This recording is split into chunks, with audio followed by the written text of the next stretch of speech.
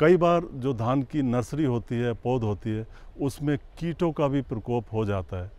कीट, खास करके जैसे पत्ता लपेटक कीट है, या तना छेदक कीट है, या हिस्पा कीट है, ये कीट धान की पौधशाला में आ सकते हैं। किसान भाइयों, आपको अपनी धान की जो पौधशाला है, उसकी लगातार निगरानी करनी है, उसमें रोज़ आपको जाना है और देखना है।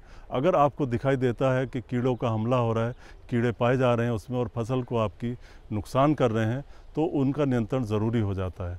इसके लिए आप दो मिलीलीटर क्लोरपायरिफास ध्यान रखें, दो मिलीलीटर क्लोरपायरिफास प्रति लीटर पानी घोल बना लें और ऐसा आप 60 से 70 लीटर घोल बना लें और जो नर्सरी के 1000 वर्ग मीटर क्षेत्र के लिए पर्याप्त होगा। जो संस्कृति मैंने अभी बताई हैं, वो सारी की सारी आपके 1000 वर्ग मीटर क्षेत्र के लिए है।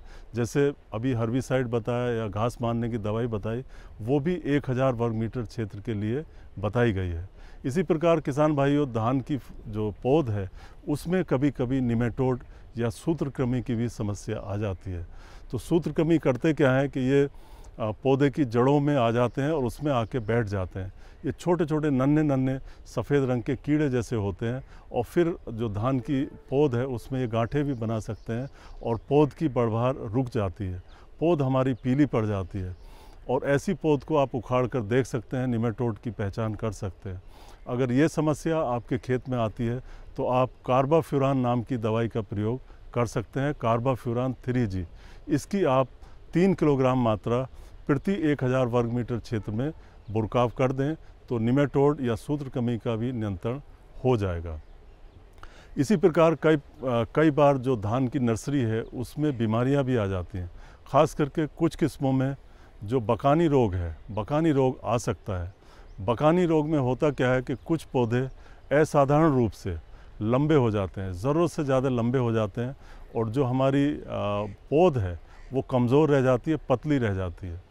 तो आपको कोशिश ये करनी है कि इस तरह के जो प्रभावित पौधे हैं, बकानी से प्रभावित पौधे हैं, उनकी आप रोपाई ना करें।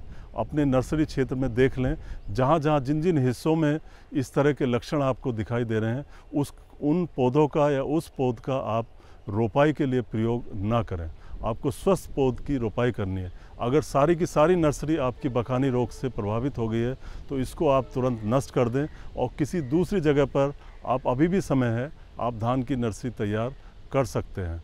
हाँ अगर आपको लगता है कि कुछ ही पौधे प्रभावित हैं बकानी से तो जो बाकी आपके स्वस्थ पौधे हैं, उनकी अगर आप रोपाई कर रहे हैं तो इसके लिए आपको पौध को बावस्टीन के घोल में जो है डुबो कर रखना है। इसके लिए आप बावस्टीन का दशमलव एक प्रतिशत का घोल बना सकते हैं, जिसमें आपको एक ग्राम बावस्टीन लेनी है और एक लीटर पानी। इस दर से आप घोल बना सकते हैं अपनी ज़रूरत के हिसाब से और धान की पौध जब आप रोपाई करेंगे उखाड़ने के बाद, इस घोल में लगभग आधा से एक घंटा तक कम से कम उसमें डुबो कर रखें और उसके बाद अगर आप रोपाई करेंगे तो बकानी रोग के प्रभाव को कम किया जा सकता है।